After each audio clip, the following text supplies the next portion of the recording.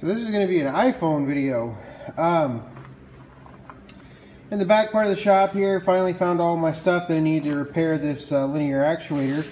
Uh, you can see where the ice caught on it and uh, ripped all these wires out. So what I've got to do, I've got to use my uh, weather pack uh, here in that box right there.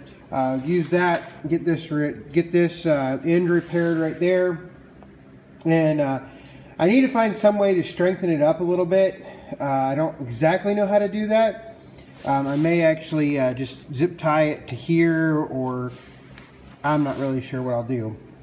But I need to I need to get all of this this whole area right here uh, protected a little bit. Uh, I'm going to work on this. This will probably be a short video. Uh, I actually brought the camera out here with me. Um, I even set it up right there.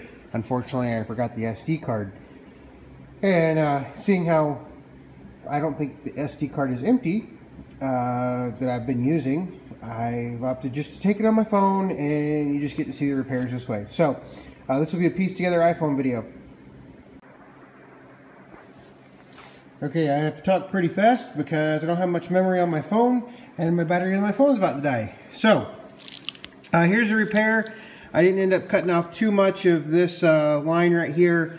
Uh, I think the hardest part is the fact it's about 10 degrees back here and uh, that means everything's super uh, uh tight and everything so I kept having to get out uh, the heat gun and, and heat everything up.